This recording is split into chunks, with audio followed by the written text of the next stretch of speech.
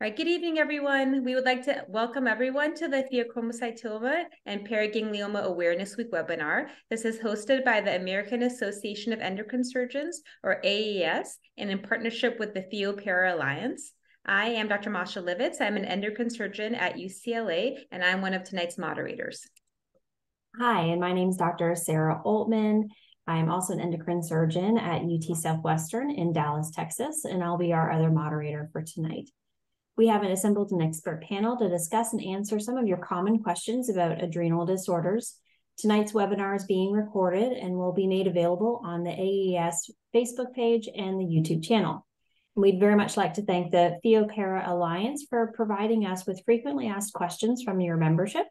If time permits, we'll also be taking some live questions from the audience this evening, and you can enter your questions in the Zoom Q&A section. Um, please be aware that we will not be answering any personal medical questions or providing specific medical advice. All, um, all commentary will be more generic. Um, for those types of questions being more specific, please seek advice from your doctor or medical team.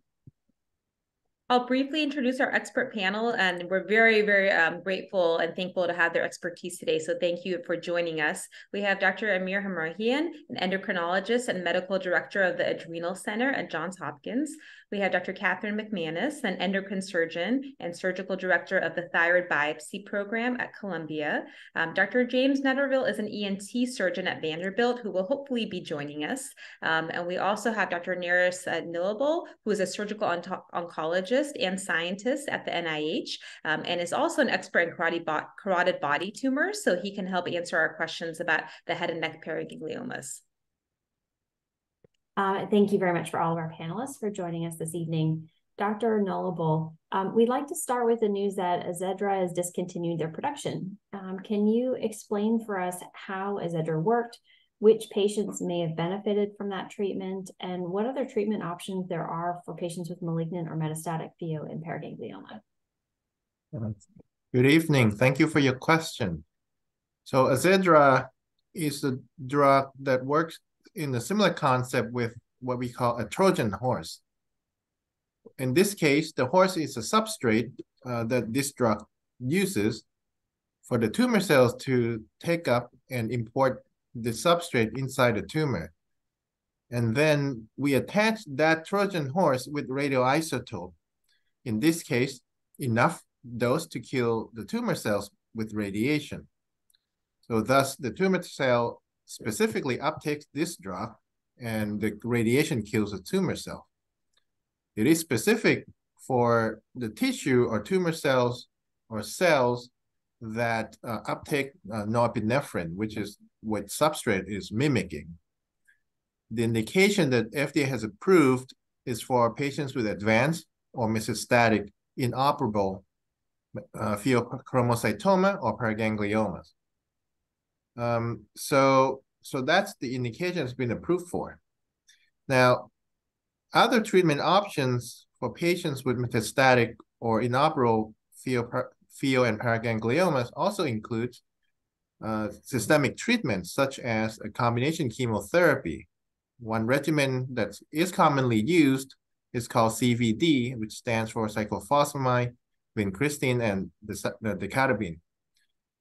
Um, so, so you know, there are other treatment options, uh, many of which aren't approved by FDA. Um, uh, these include uh, somatostatin analog that can, can be selectively used in some patients, uh, or uh, some of the folks may use tyrosine kinase inhibitors, which is a small molecule inhibitors, uh, selectively, and should be done based on clinical trial.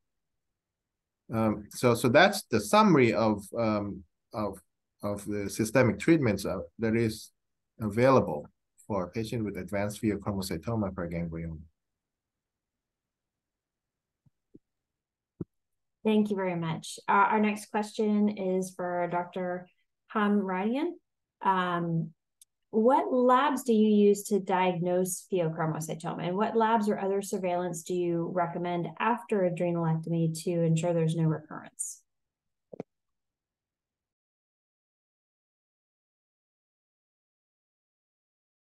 I think you're muted. sorry for that. Good evening and thanks for the invitation. Um, before I mention about the, what labs are used most, uh, I, I, just want to mention that nowadays the, the, most common way of diagnosing PHEOs and paragangliomas are through the incidentalomas. Means the patient goes for uh, some reasons uh, to emergency room, uh, urgent cares, and get the imaging study, and they get diagnosed. About 60% of, of the patient diagnosed by that way. But whenever we see a mass or patient have symptoms suggestive of pheochromocytoma, we use plasma and urinary metanephrines as our main tools to diagnose the condition. Uh, there had been some confusion about the plasma versus urine, which one is better, uh, and that may be related to the reference range that has been used, uh, normotensive patient versus hypertensive patients. Uh, but in general, my favorite is the plasma metanephrine, and uh, that is easy to do for, for most patients. and that, that is the main tool that we use for the for the treatment. regarding the after surgery, we um, continue with the same uh, measurement of the plasma or urinary metanephrines, I tend to get at least one time imaging uh, uh, after a couple of months, once the inflammation has gone down to have a baseline kind of an image to for the comparison in the future. But of course, based on the patient genetic testing and uh, the, the probability of having uh, future lesion or metastatic lesions, I may do imaging in intervals, but uh, but that is the minimum that I do for my patients. Um, and Dr. McManus, there was a question um, that a patient had sent in about a biopsy. In uh, you know, usually we kind of say we, we would never biopsy a pheochromocytoma. Um, can you tell us why that is, and are there any circumstances where something might be biopsied um, for to see if it's a pheochromocytoma? So that's an excellent question. And uh, I don't remember when was the last time that we sent a patient for uh, having a biopsy done uh, for a pheochromocytoma paraganglioma. We have received patients who have done a biopsy at outside hospital, uh, sometimes without knowing that the patient had these conditions, uh, and they came to us. In general, whenever we suspect these lesions, we, we go after them and take them out, of course, when they're isolated or there are not that many uh, patients, I mean, that many lesions. So there are some rare situations that the biopsy can be used, and that should be done after adequate uh, alpha block, blockade of a patient uh, to provide a tissue diagnosis when, when there is a need, for example, chemotherapy or, or additional treatments. But in generally, uh, it is not a very uh, commonly done procedure.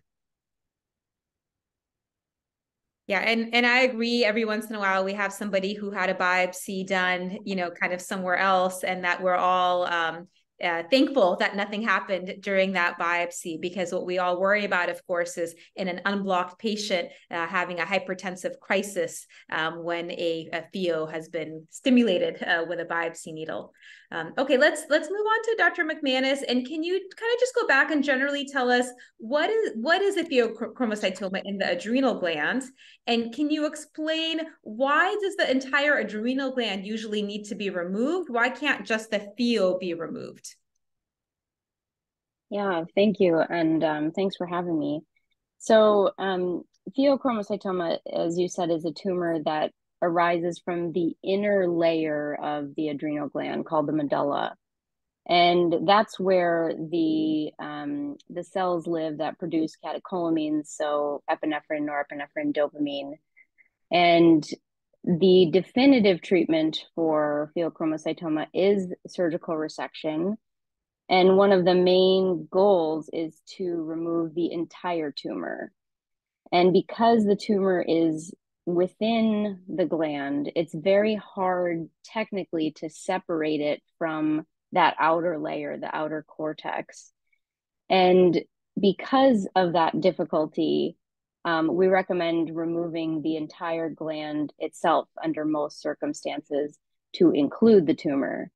Um, and the reason that, besides just the technical difficulty, um, we prefer to take out the entire tumor is because when we try to separate the tumor from that outer layer, you risk leaving some of the cells of the tumor behind, and that can put you at a higher risk for recurrence. And also, if there is any rupture of the tumor uh, during the operation, then the cells can escape, and that can also lead to increased chance of recurrence. That said, that is the case most of the time. There are situations, of course, in which we do consider removing just the tumor, and that known as a cortical sparing adrenalectomy, where you leave behind the outer layer, the outer cortex. Uh, in those situations are most commonly among patients who have hereditary syndromes, and they tend to have uh, pheochromocytomas on both sides in both adrenal glands. So, in order to save some adrenal tissue and prevent permanent hypocortisolism, um, there is an effort or consideration to do a cortical sparing adrenalectomy, or if somebody has already had an adrenalectomy on the other side and only has one remaining adrenal gland, uh, if it's a small tumor, you may consider also uh, cortical sparing in that in that sense. Dr. Nilubol, um, we have a couple of questions here about the hereditary syndromes that can be associated with both pheo and paraganglioma. Um, how does a specific condition like von Hippel-Lindau, multiple endocrine neoplasia, or the various different SDH mutations change patient management? And a follow up on that is what are the relative risks of recurrence or um, subsequent disease happening later on after initial treatment? Thank you for that question. It is a very important question that I would like to highlight tonight. And this is because pheochromocytoma and paragangliomas are two diseases that carry the highest rate of germline mutations known to any mankind, mankind tumor. Because up to 27 or to 40% of the patients can carry uh, germline mutations, that which means they can inherit from their parents and certainly can pass along to their offsprings. Because of that, multiple guidelines from several professional societies recommends that all patients who are diagnosed with pheochromocytoma and paragangliomas should be seen by a genetic counselor for a germline testing. And now there is a panel that, that's commercially available that tests up to 15 genes associated with these syndromes. The importance of diagnosis correct diagnosis by the syndrome is such that um, many patients would have more than one tumors. In other words, not just pheochromocytomas or paragangliomas, paragangliomas, there are diagnosed in these patients. They can have, very, have various other tumors. For example, if it's a von Hippel-Lindau or VHL, they could have brain and spine tumors or the eye tumors. They could have renal cell cancers and certainly pancreatic neuroendocrine tumors in addition to pheochromocytoma. Similarly, if you if someone carries MEN2 genes, they certainly can develop a, a type of thyroid cancer called medullary thyroid cancer, and that could be deadly. Uh, for SDH mutation, uh, this mutation can give rise to various numbers of uh, pheochromocytomas and paragangliomas in different parts of the bodies but also can give rise to a certain uh, tumors in the intestine and stomach called GIST, uh, stands for gastrointestinal stromal tumors, and other renal tumors as well. So it is important that we have a correct diagnosis based on the pathology of the germline mutations for patients themselves and also for their family members and and and that's that's the indication to test the patients because of the high rates of these mutations. In addition uh, these mutations will guide the management because we would know what is propensity of the tumors being metastatic. For example those with SDHB mutations would have higher risk of metastatic tumors. Therefore the treatment may be a little bit more aggressive. We would intervene surgically earlier. Similarly patients with MAX mutation would carry higher risk of metastases. In such cases, we wouldn't recommend partial adrenalectomy. Uh, in contrast, patients with von Hippel-Lindau or MEN2 syndrome these patients have multifocal disease and recurrent tumors in adrenal glands over and over again. Therefore, we recommend cortical-sparing adrenalectomy because the frequency of recurrence and the low risk of metastases. So the mutations do dictate what surgical options and what disease monitoring and surveillance process is going to be. Great, thank you. Um, Dr. McManus, there's a question in, in the Q&A about, can you tell how long a pheochromocytoma has been growing for? Is there something about like maybe the size of it that could tip you off of how long it's been there for? Um, so that usually if they're um, larger tumors, there the likelihood of them being there for a longer period of time is is higher. Um, but um, as Dr. Hamrahian said, the uh, a lot of these are diagnosed with as incidental tumors, so um, or a, a, significant number that we see that are referred um, who are asymptomatic are diagnosed sort of incidentally and though for that that reason a lot of times they are just um, there for a longer period of time and patients don't even really know about them so um, i would say larger tumors probably been there for uh, a longer period of time yeah, and it's interesting. There have been some natural history studies that, you know, kind of look at the growth of pheochromocytomas, and they do seem like they grow by a few millimeters every year, even assuming that they're benign. You know, there are some other adrenal tumors, like maybe the ones that produce aldosterone, that just get to be a certain size, one or two centimeters. They'll never get any larger. Uh, but the pheos do tend to slowly grow. Um, so if you're somebody who's had maybe scans in the past, um, that would might be the only way to kind of look back and see was there an adrenal nodule earlier. Um, okay, um, let's um, let's actually go to Dr. Nilubol again, um, if that's okay. And we've gotten several questions about head and neck paragangliomas. Can you talk about what's the standard treatment approach now of observation versus surgery versus radiation? how does the location and vagus nerve involvement how does that all play into the treatment algorithm thank you for your question regarding the head neck paragangliomas there are multiple treatments available which usually means it is applicable to certain tumor locations and perhaps certain type and sizes of tumors.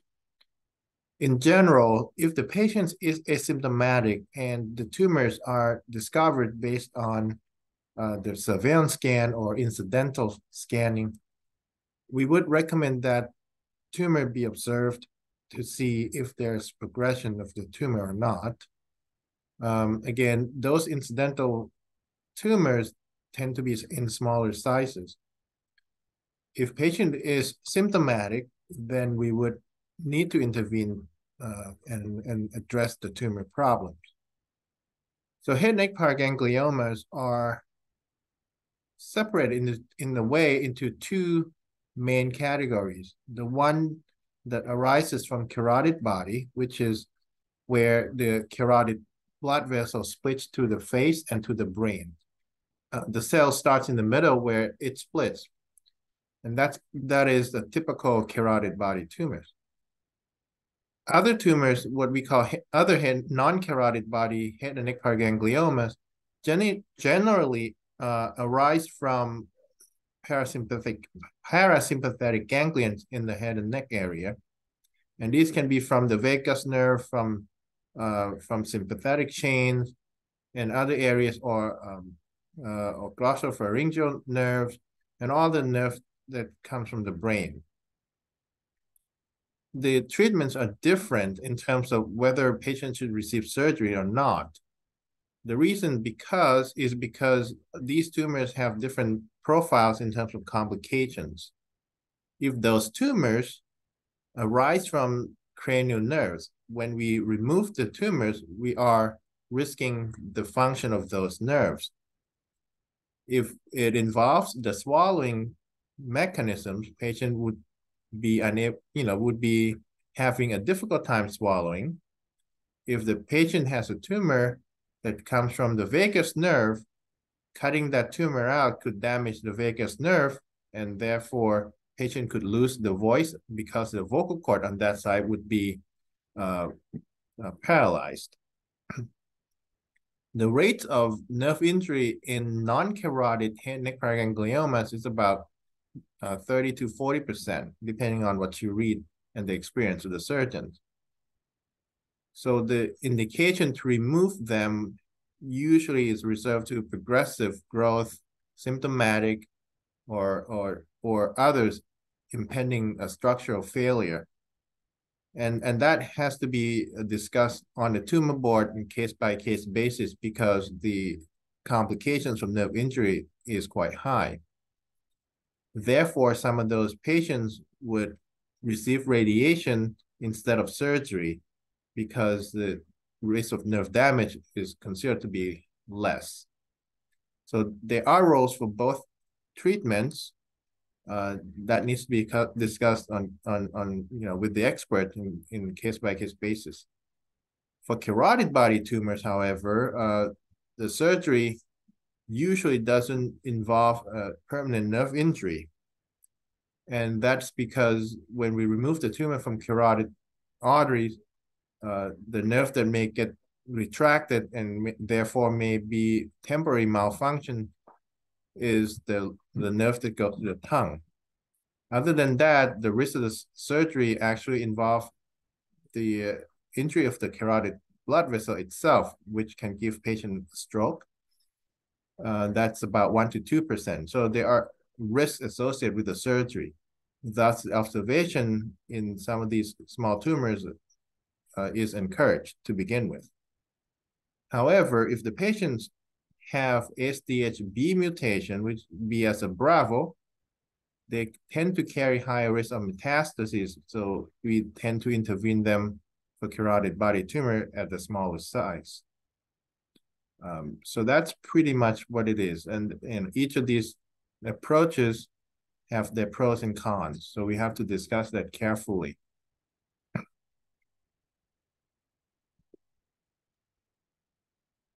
Our next question is going to go to Dr. Hamrahian. Um, what should a patient do if they have some symptoms of pheochromocytoma, but their laboratory testing or their scans are negative? Um, can there still be a silent pheo that's intermittently active? And what about for patients who've had one removed, but their labs and imaging are normal, but they still are having some lingering symptoms? Oh, we've got you muted again. I'm sorry, just keep forgetting about that. So maybe I should answer this in a two sections. So the first part is about um, um, what about if a patient can have intermittent um, production of the catecholamines? Um, so I always tell my patients, if a patient with a a functional pheoparaganglioma sitting at the beach watching the ocean or in the ICU in both situations, the patient have elevated uh, metanephrines. Uh, metanephrines continue to leak from the chromaffin granules uh, uh, and, and their levels in the ICU would be higher, but even if they are at the beach and enjoying their time, they'll still have elevated levels. So these tests that we have are very sensitive and um, generally pheo does not act like that to be silent for a, for a half of the day and suddenly start to, to make hormone for the rest of the day. So that is one thing. But there are some case reports about the silent pheochromocytoma. Mayo Clinic had a series and they had some, I think, 11 patient maybe in that series about the patient with silent. So these tends to be, and, and interestingly, while they are, we call him silent pheo, some of these patients had improvement in their, in their symptoms after the surgery. Uh, so, so there are some case report like that, but in majority of the uh, situation, we, we, we, we see the elevated levels and there is not a significant challenge in diagnosing this patient. We do resting metanephrines uh, and uh, we bring the patient fasting without uh, having any exercise or coffee in the morning and lay down for half an hour and we measure their plasma metanephrine. And this test in our hands has been very good. And by, by doing that, we have been able to rule out many false positive uh, tests, uh, I mean, results. So uh, again, I'll be happy to answer more if there, if there isn't something around this question again. But regarding the second question about when a patient has surgery done and they still to have symptoms, if their levels are normal, and, and again, plasma metanephrine is a very, a very excellent test to do with excellent sensitivity. Um, I usually look for other reasons um, that could have been there. I would have them, of course, um, other endocrine issues, thyroid issues, a cardiac workup, many of these patients may have some problem with the uh, additional problem with dysautonomia. So we have a low threshold with having a tilt table study done in some of these patients who continue to have uh, being symptomatic after surgery, surgery despite having normal levels. So they get get a thorough evaluation and uh, based on the clinical picture, we may need to do some additional imaging and go from there. So while doing that, in most cases, uh, I would say more than 90, 95%, we should be able to help the patient and, and have their uh, symptoms under control. And can you also talk a little bit about the different hormones, specifically the metanephrines versus the catecholamines and um, dopamine as well? How, how, how do we consider those various different levels when we're trying to make the diagnosis? Sure, uh, that's an excellent question. Uh, and I saw in the chat there was a question about the dopamine and the level of the dop dopamine. So, so the epinephrine is uh, almost exclusively done in the in the in the adrenal gland uh, and uh, or adrenaline, and norepinephrine can be done in the in the ganglia and and the adrenal gland. So when a when a patient has more than twofold um, metanephrine levels, which is a metabolite of the epinephrine or adrenaline, these patients almost always have their lesion in the adrenal gland. So sometimes by just looking at the uh, chemical or, or the biochemical studies, we are able to predict where the where to, to look for. And uh, but if they have mostly normetanephrine elevation, in that case they can have a paraganglioma or they can have a pheochromocytoma in the adrenal gland. So that can help us. Um, dopamine producing uh, tumors uh, are a little bit tricky there is more chance of malignancy in these patients so we, we want to be more careful about that. There is some dietary restriction that we want we wanted to do when you want to measure the dopamine level. There are some medication that can raise the dopamine like a patient with on, with parkinson disease for example. Some of the medication can raise that. Uh, there is now uh, trimethoxytyramine uh, uh, that Mayo Clinic runs a 24-hour urine for that, and that can be used. That seems to be have a better diagnostic uh, accuracy compared to dopamine. Uh, it, it's uh, the the blood level looks to, to be doing better based on the research, but we only have the 24-hour urine. I think they're working on the on the blood assay too.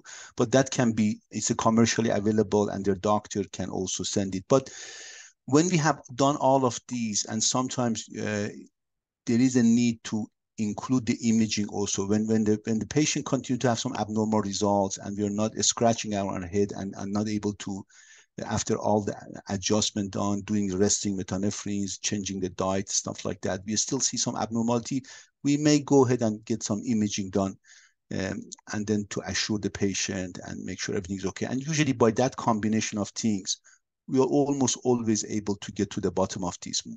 If a patient has, after all of these, we can't find anything, most likely they don't have pheochromocytoma, and we continue to monitor in intervals. I just want to say I was really impressed with your description of how you measure the plasma metanephrines. It's such a like perfect um, kind of ideal conditions of resting, 30 minutes, you know, supine uh, in the laboratory, exactly the way that it's described. Uh, it's, it's very difficult for us to achieve that. And so I will say that I'll often prefer the 24 hour urine metanephrine because I, I feel like we see some more false positives with the plasma because our our conditions are not so ideal. I'm just curious from the other um, panelists, um, what is your experience with the plasma versus the urine metanephrine? Do you have a preference?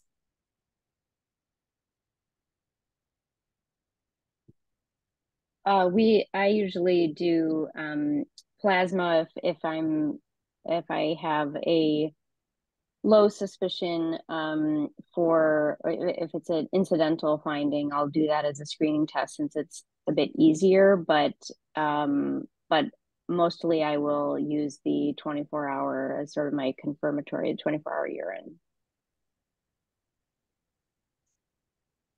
Okay, um, and Dr. McManus, let's let's stick with you. And um, can you uh, tell us more about the the surgical details of a removal of pheochromocytoma, and specifically, can you talk about when a laparoscopic surgery is appropriate, or when you consider an open adrenalectomy? Um, and then, can you talk about going from the front versus the back, or retroperitoneoscopic approach? Do you have any thoughts about robotic adrenalectomy? Yeah, absolutely. So the ideal way um, to, if you can, to take out the adrenal would be laparoscopically um, rather than open. The data has shown that it's associated with less pain, um, shorter hospital stay, less morbidity, um, just the smaller incisions, and um, patients tend to do uh, a little bit better postoperatively if you are able to remove laparoscopically. Um, however, there are still plenty of times where um, we think that the open approach is more appropriate. So for larger tumors, greater than about six centimeters, um, I'll often consider an open adrenalectomy. Um, also, if there is a concern for um, malignancy or uh, any sort of invasion into surrounding structures. So if it looks like it is um, invading uh, into there's any sort of surrounding lymphadenopathy or things that um, we want to make sure that we are able to resect having that open um, approach allows for us to ensure that we can get everything out um, that said uh, the real um, I would say decision is is on the individual surgeon and their experience. So um, many surgeons are uh, very very facile and more adept at the laparoscopic approach, and so um, we are seeing that um, patients are able to have that appro- the laparoscopic approach done safely um, in terms of the front, um, the transabdominal approach, or uh, going from the back, the retroperitoneoscopic approach. The difference there is with the transabdominal, you're of course making incisions in the front of the abdomen to access the adrenals, which sit toward the back of the abdominal cavity.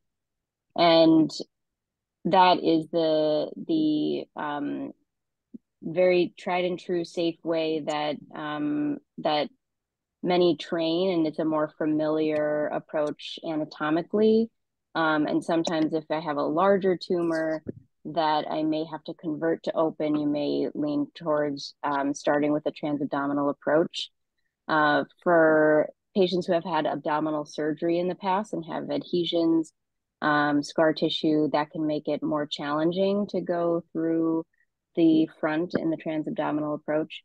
So the retroperitoneal approach um, offers um, uh, the advantage of avoiding any sort of intra-abdominal scar tissue.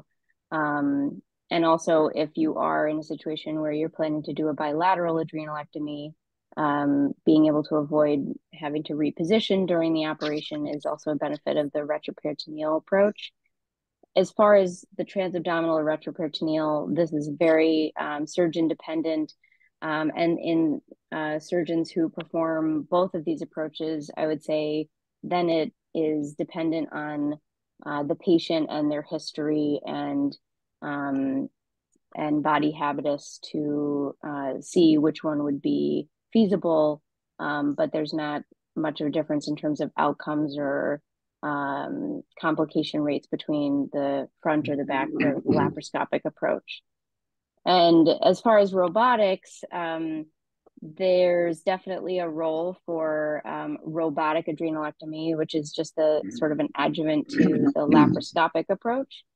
And um, it's just another tool that um, that we have available, uh, but it's not necessarily a, a superior approach. So um, that is another thing that I think is is a nice advancement, um, but again, not not proven to be better than the laparoscopic approach. And Dr. Nilubol, do you what are your thoughts about do you have a preferred surgical technique and when do you decide to do an open adrenalectomy as opposed to laparoscopic? Great question. Um, I do both uh, retroperitoneal approach and transperitoneal approach if the patient is a candidate for a minimally invasive surgery. Uh, my career you know, my career does focus a lot more on adrenocortical cancer. And to that extent, uh, tumors from adrenal or paragangliomas, which I operate on one today, uh, common if they're big enough or commonly uh, associated or close or intimately involve the major blood vessels, which they always do because they always sit in the you know abdominal vena cava or aorta, which are very big blood vessels. We generally prefer an open procedure in case we make holes in these blood, big blood vessels and we don't get in trouble. For adrenal uh, pheochromocytoma, if the patient does not have any signs of gross invasion or the concerns to these blood vessels, we can accomplish uh, most of these tumors via laparoscopic or minimally invasive approach, whether you do robotic or laparoscopic approach. Uh, so so that's the summary of it. So if it looks if it looks dangerous, um, then we should do it open. If it looks like they're multifocal, uh, whether it's multifocal tumors or one tumor with metastases, but we can still remove the tumor to no evidence of disease status, we should do it open because if you have different zip code, it'd be hard to do laparoscopically. But size alone doesn't tell us whether that should be done laparoscopically or not. And we remove pheochromocytoma that isn't um, uh, showing any sign, did not show any sign of uh, invasion up to 10 centimeter or, or bigger, right? So that's not uh, all or none, but it has to be considered based on the extent and involvement of adjacent organs.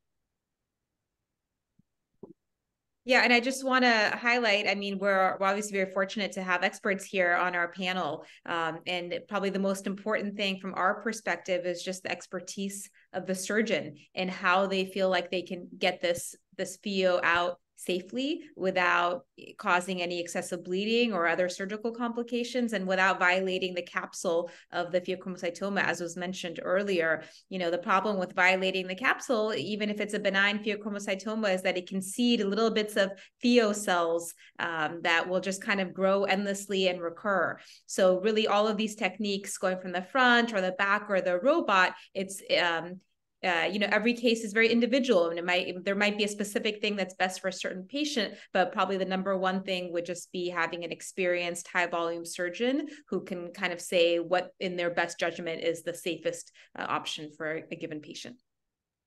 Right so i'll just add on to that that in addition to the surgeon's expertise um, this is one particular disease process that the team is really critical, that it just as much important as the, our anesthesia colleagues and their comfort with being able to um, keep the patient safe in the operating room, ensuring um, with the help of our uh, medical endocrinology colleagues that we have patients adequately alpha blocked so that we can get them safely through the operation. Because those um, medical comorbidities definitely can also influence the ability to ability of whether or not laparoscopic is on the table as an option. Um, Dr. Nilubol and Dr. McManus, can you guys both comment a little bit about your any experience you've had with um, seeding of parathy or pardon me, seeding of pheos during um, surgery? I think we might have mentioned it just briefly early on but what is pheochromocytosis?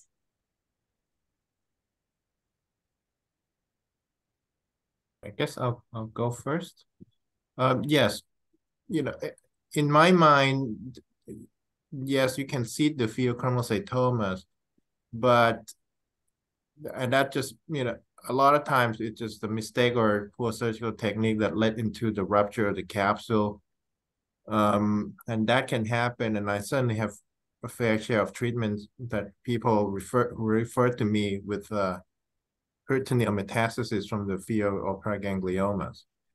Uh, it is a difficult problem to treat because you can cut what you can see and they all come back. But more importantly, you know, these tumors just don't drop into a certain spot and decided to grow. They generally have propensity to do that, meaning they tend to have uh, certain genetic abnormalities that uh, makes them more aggressive when they drop and they dig down and they grow. Um, but the most important thing is, as a surgeon, we shouldn't let that happen and try the best not to drop something and, you know, someone else has to pick up some other time. Yeah, I, I agree with that. I think it's a really tough uh, situation to be in. Um, and that's why the the number one or one of the number one um, top principles in surgical resection is to be able to resect the entire tumor and to keep everything intact. And so oftentimes, however, with in the hands of an experienced, um, experienced high volume surgeon, however they feel is they're going to be able to do that in the safest way possible um, to avoid the rupture and seeding. Um, oftentimes that can turn into a difficult uh, problem if there are in the setting of uh, pheochromocytosis that that it becomes less of a, a treatable surgical disease. Um, okay, we have Dr. Netterville, who I believe has joined us. So we're going to see um, uh, if he's able to answer a question for us. I think uh, was uh, in the operating room. So thank you so much for taking care of your patients and then uh, joining us today. Uh, I'm I'm very honored to be here. The uh, between a thyroid and a very large carotid body tumor, the day took longer than I thought.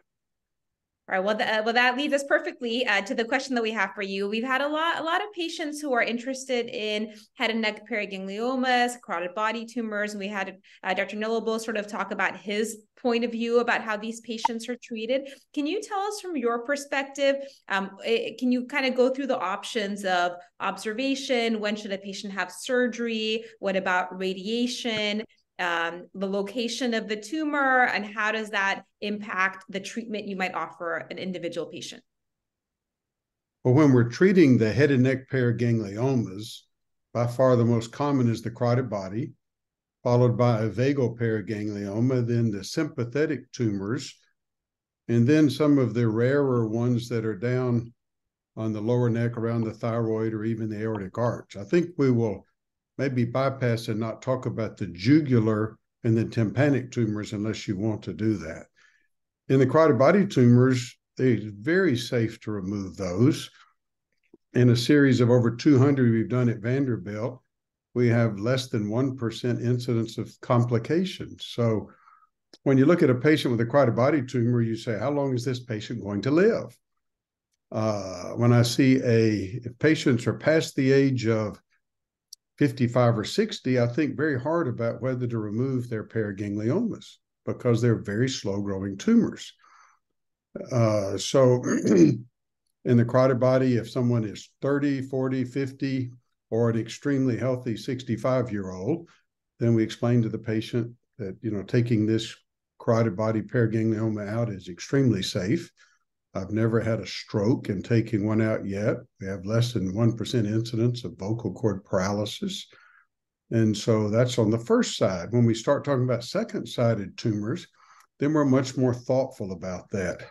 Dr. David Robertson at Vanderbilt on my early patients helped to describe baroreflex failure when we take out the second side carotid body tumor.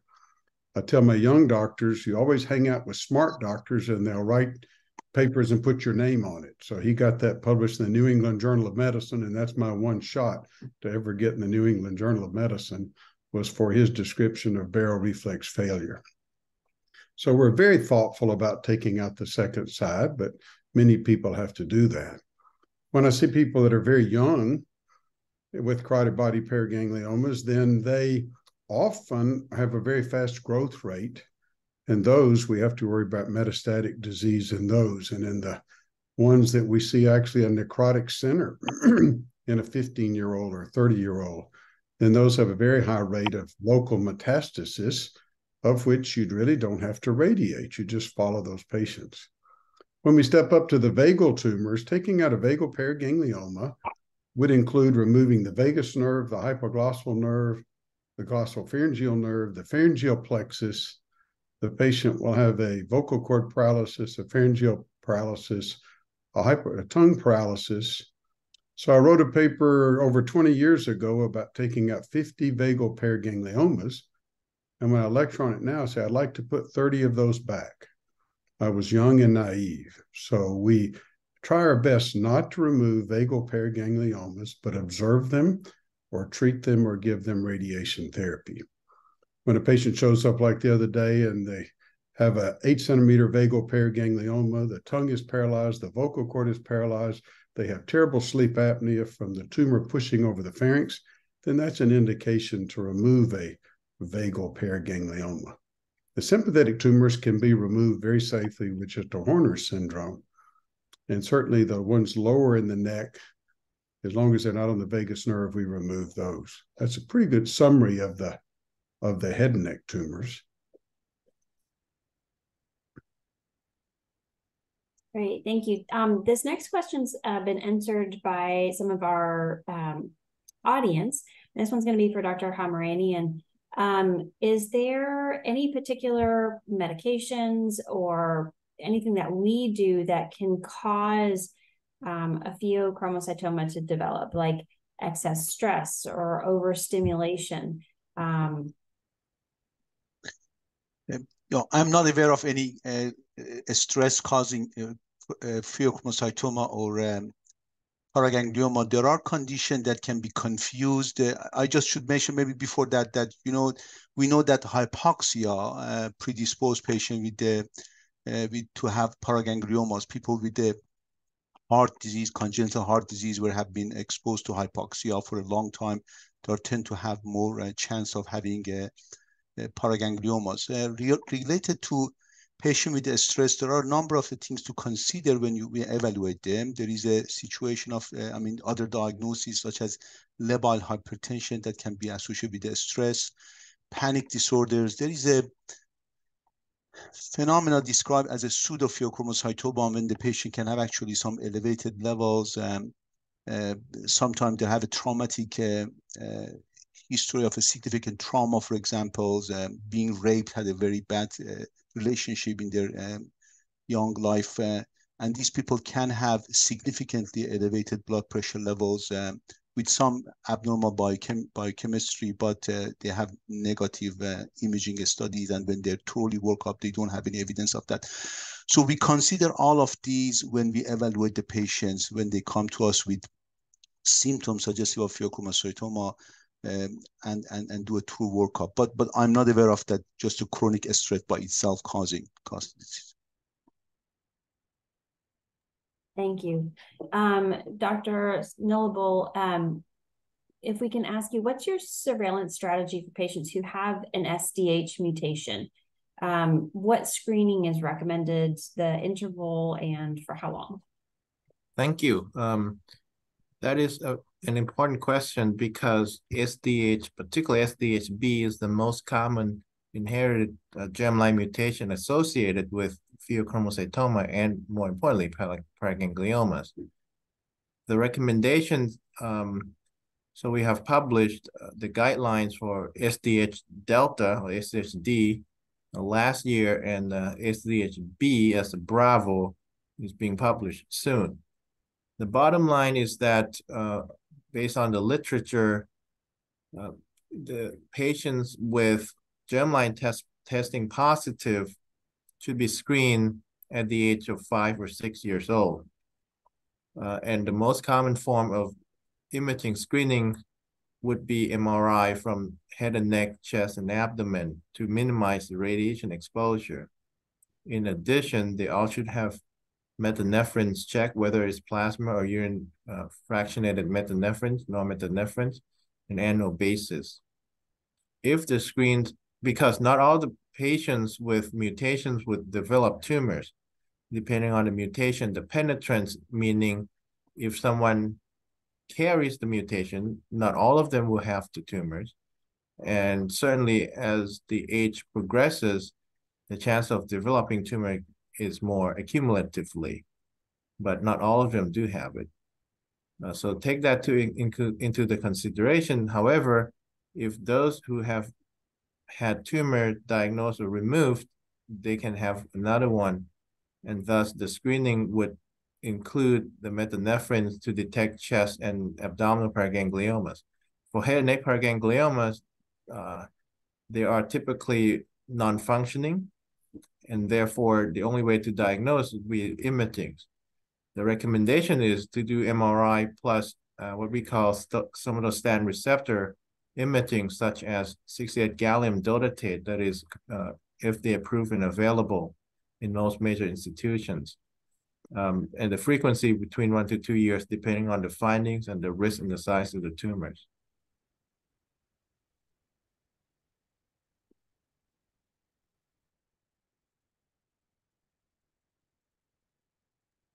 Um, this next question is for Dr. McManus. Um, we have a question in the chat about how do the surgeons work with pathology. Um, some of the patients have mentioned that there's some variability they've seen in the pathology reports about ensuring all of the correct variables are reported on. What what is your practice? Yeah, so we're uh, very fortunate to have um, a uh, multidisciplinary uh, tumor board essentially discussion um, with adrenal cases. And so uh, we often have uh, several pathologists who are uh, very familiar with the um, all of our adrenal um, pathology specimens and they know uh, we we've made it um, all very well known and um, clear to report all of the um, important markers.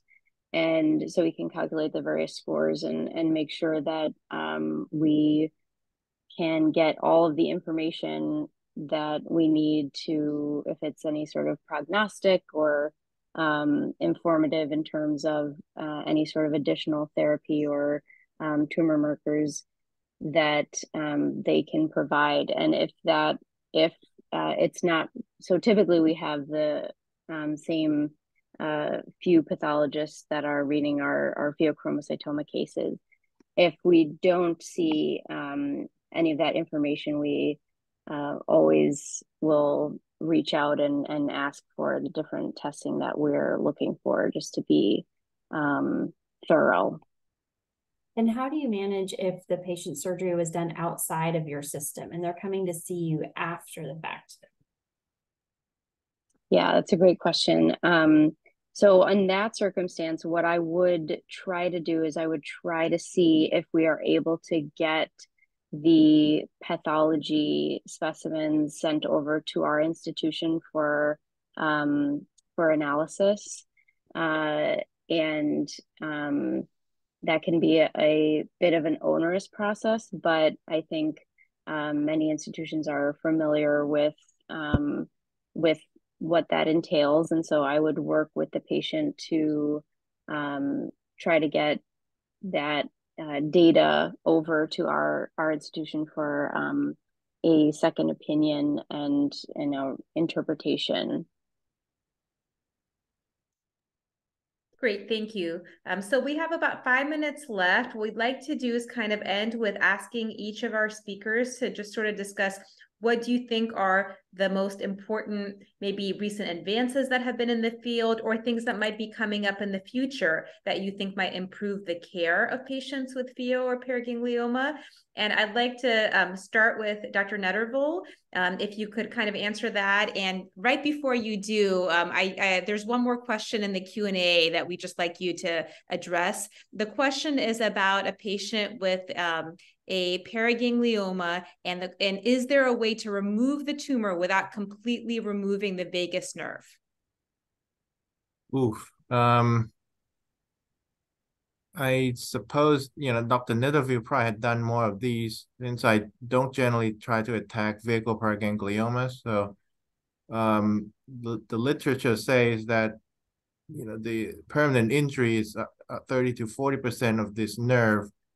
I suppose that uh, some of the folks had done without injury, but what I've seen, the patient coming in, they commonly have a vagal nerve injury than not because the tumors tend to be integrated to the nerve. It's not like um, neurofibroma, you know, neurofibroma that you can split the, the nerve sheath and scoop out the tumor. It's not quite like that. But my practice mostly in carotid body tumors for that reason. Um, I'll defer that to Dr. Netterville, who had probably done more vagal paraganglioma, because in my mind, you know, unless its tumor is progressively compressed or growth or compressing, that needs to be removed surgically. I tend to recommend not to have that done surgically. Okay, yeah, Doctor. Uh, thank you for that answer, Doctor Netterville. What are your thoughts? Well, there's people described the vagal tumor in the past as a juxtavagally tumor or an intravagally tumor, and they basically tried to say some tumors grew alongside of the nerve grow on the surface. Well, I think that that those few patients where the nerve was on the surface were probably sympathetic tumors and not vagal tumors. Of the many vagal tumors that I have seen over time, uh, there is always injury to the vagus nerve when you have to take them out. And so that's, uh, I completely agree with my colleague here. We try our best not to take out vagal paragangliomas unless the patient has already had all the cranial nerves already paralyzed and they have aggressive growth of the tumor. And we can certainly rehabilitate those, those patients with an implant under their vocal cord and palatal adhesion to block the nasopharyngeal airflow, and we can get them swallowing again just fine. But in my practice of 36 years at Vanderbilt, I've had the privilege of watching these people that do after those surgeries, they do well in the five year mark and the 10 year mark. But I've watched people 20 and 25 years, and they're swallowing ages much faster when they've lost all these cranial nerves. So I've seen them suffering 20 years later. So we try our best to leave vagal tumors alone. Okay, so this idea of scooping out the tumor and peeling it away from the vagus nerve is not really realistic. Not at all. Okay. And I see patients going and coming back for second opinion from me, saying this doctor assured me that they could take it off my vagus nerve. And I said, Well, I'm not sure that doctor's seen many vagal tumors then. Okay. All right. Thank that you. has That's been my experience as well. That you know, if it, it's truly vagal, vagal or you know, glossopharyngeal type kind of tumors, they all get damaged pretty easily. Okay. All right. Thank you. Um, Dr. Hamrahian, any kind of last thoughts about recent advances in the field or things that might be coming up that could be helpful for patients? Well, well I think having availability of Lutathera uh, right now as part of the clinical trials, uh, especially as as our colleague mentioned, with the Azedra going out of the uh, not being produced uh, maybe to the first quarter of the 2024. Um, so uh, so that that is something uh, we hope that be available for our patients. Um, I I don't do chemotherapy, uh, but uh, I have heard some good result from tyrosine kinase inhibitors uh, used in in patient with metastatic disease. Um, usually, these are done by our oncology colleagues. Um, so I would say these are probably for me the, the most important two two recent things. Okay, thank you. And last comment to Dr. McManus, um, any from the surgical perspective, uh, any recent advances or things that you think might be coming up for uh, surgical treatment of patients with pheo paraganglioma? Um, so uh, not so specifically um, new surgical advances, but there was um, a study published recently that showed that um, uh, looking at cardiac uh, impact of um, surgery and found that after surgical cure of um, of paraganglioma pheochromocytoma, that there's actually some reversal of the cardiac dysfunction, um, and so uh, at up to six months after the surgery. So I think having that um, information is helpful in terms of education and patient education, and and also in emphasizing the role that surgery can have in treating this disease. Great. Okay. And of course, we're so thankful for organizations like the PheoPara Alliance for allowing us to do this today um, to connect patients that we know that you're coming from all over the place um, and to allow us to kind of share our experience with you um, is really, you know, we need organizations like the PheoPara Alliance to connect us. So thank you so much. Um, as we approach the top of the hour, we really want to thank our viewers, supporters, and the PheoPara Alliance for their support. And really a special thanks to our expert panelists for taking time out of their busy uh, schedules to answer your questions about pheochromocytoma and paraganglioma. And as a reminder, the session was recorded and will be available on the AAES Facebook page and the YouTube channel. And you will can find more helpful information um, at the AAES patient education website, which is www.collectedmed.com backslash AAES patient education. And that was put in the chat at the very beginning. So you can find the link there as well. Thank you. Thank you, everybody. Have a good evening. Thank you.